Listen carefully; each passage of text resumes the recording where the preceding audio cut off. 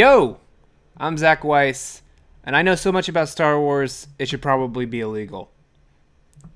This is Lore and Legends. Lore and Legends is a new series where I tell you absolutely everything you ever wanted to know and stuff you probably never needed to know about a certain Star Wars subject, from the canon to the legends. Stuff like how long is Sy Snootles' snout? What kind of food does Sy Snootles need to eat with a snout like that? What is the biological function of Sy Snootles' snout? All these burning Star Wars questions and more will be answered on Lore and Legends. This week I'm going to be going over the complete history of the Tusken Raiders, and if you know anything about me, you know I'm probably the world's biggest Tusken Raider fan.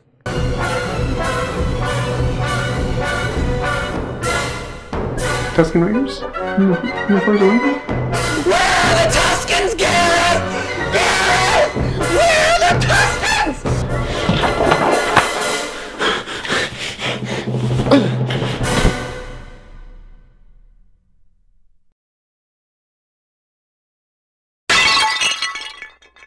This is Lore and Legends.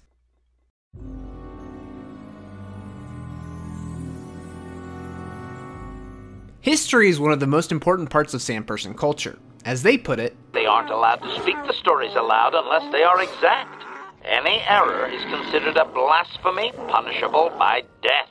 In fact, every tribe has a storyteller, someone chosen from birth to tell a history and story of their people. The Sand People believe that the storyteller is the most important member of their society, as they keep no written history of their people, because according to them, that would cheapen their legacy.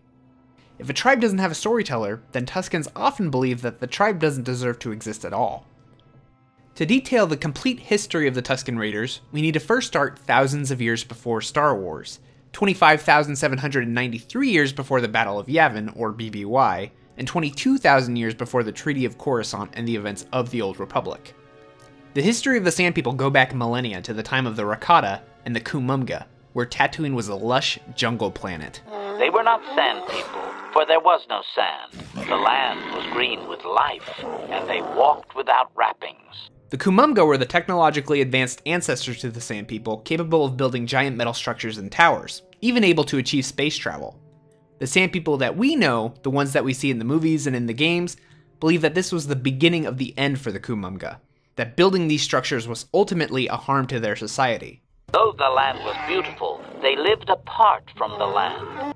As soon as the Kumumgah achieved space travel, they got the attention of what the Sand People call the Builders, or as we know them, the Rakata or the Infinite Empire from Knights of the Old Republic. The Rakata enslaved the Kumumgah, destroyed their cities, and mined Tatooine for all of its precious resources. So, fair to say that First Contact didn't go so hot for these guys. The Sand People believe that, of those enslaved, it was only those who had no respect for their land that were taken away by the Rakata. After some 500 years of enslavement and resource gathering by the Rakata, the Infinite Empire started a civil war and began to collapse. This wasn't helped by a deadly plague that began to spread through Rakatan society, nearly driving them to extinction. Sand people believe that the Rakatan's plague was caused by their own arrogance and disconnect from the land, and their use of technology. Though it was only a minor skirmish, the Kumumgah struck a blow against the Rakatan Empire and were actually able to turn their own warships against them, destroying Rakatan starships. Wow, that's actually pretty impressive. Uh, oh. And then the Rakata glassed the entire planet of Tatooine and turned it into one giant desert. Right. Soil became glass, grinding to sand. But the fight was long planned, and his people were safe. Deep in cave homes carved from valley wall, they were free. So the reason Sand People don't use more advanced technology is because they thought the Infinite Empire coming to Tatooine was their fault. In their minds, Tatooine being glassed was punishment for building starships. You can actually see in the Old Republic MMO an area of Tatooine called the Wound, where presumably the Rakatan laser that destroyed Tatooine hit. After hiding in caves, the Kumumgah emerged and began what they call the Long Walk, a part of Tusken history that spans over millennia. This is where Kumumgah became the Sand People that we know today, adopting the connection to the Banthas, the Wrappings, and the nomadic culture. In the Jedi Consular storyline in the Old Republic, there's an item called the Sand People carving that you can read, explaining that the Kumumgah may not have been the only living race on Tatooine. The carving says that four different species all lived on Tatooine at the same time. The first species died out when the Infinite Empire attacked, the second species became the Jawas, and the third species became the Sand People, who killed the fourth race during the period of the Long Walk. The Sand People had a brief encounter with Darth Revan in 3956 BBY, where he settled the dispute between their tribe and the galaxy spanning company Czerka Corporation.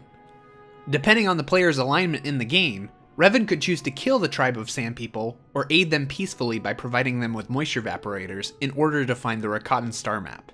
Jumping forward a couple thousand years, the Sand People raided a settlement called Fort Tusken, which you could visit in the game Star Wars Galaxies, and which was mentioned in Star Wars Kenobi. Fort Tusken was set up 100 years before the events of 1977 Star Wars, and was being constantly attacked by the Sand People until the fort was abandoned a mere five years later. I bring this up because, obviously, this is how Tusken Raiders got their name.